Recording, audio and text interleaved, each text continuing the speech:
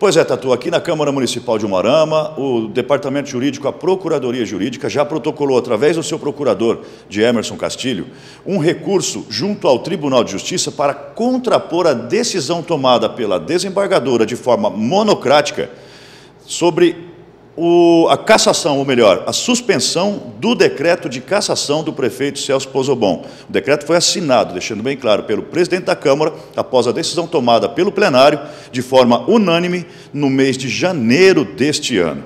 De Emerson Castilho, qual o teor deste documento protocolado?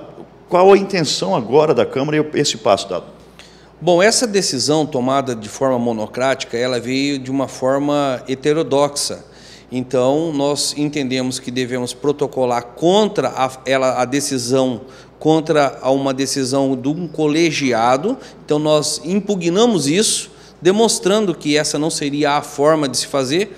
E também, uma vez que ela já tinha decidido favorável há poucos dias atrás e ela não houve nenhum fato novo que justificasse essa mudança e nem essa decisão de forma monocrática. Se fosse decidir que fosse, então, é, pelo colegiado de desembargadores. Então, esse é o ponto forte das, é, da decisão que ela tomou de forma equivocada, ao nosso ver. Bom, ela tomou uma decisão baseada no quê para suspender o decreto de cassação, digamos? Tá, esse pedido de suspensão do decreto já veio aqui no Fórum de Umuarama negado.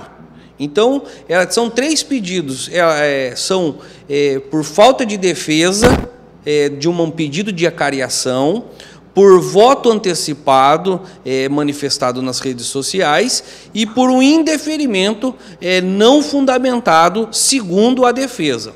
Porém, é, a, a já foi pedida fora de prazo, já teria ouvi, é, dado a oportunidade de apresentar 10 é, testemunhas no caso do Celso. E após isso, eles tentaram fazer uma cariação, e foi indeferido e foi fundamentado.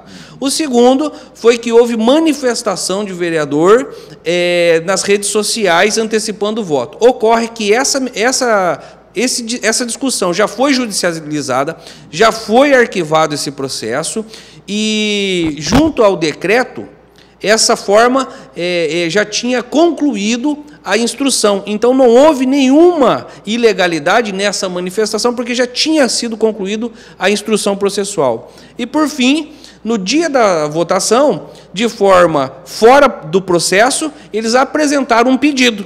Então, tentando inovar aquilo que já vinha sido estabelecido pelo Decreto-Lei 201 de 67. Então, a, a, a forma de, de rebater isso tudo é, foi, foi é, apresentado junto a, ao, ao Tribunal de Justiça. Bom, é importante a gente lembrar também que Celso Pozobon, então, depois dessa decisão desta desembargadora, ele voltou a ser prefeito, mas permanece afastado. Agora o James só explica uma coisa para a gente. Ele ele recebe de volta o foro privilegiado, James, nesse caso?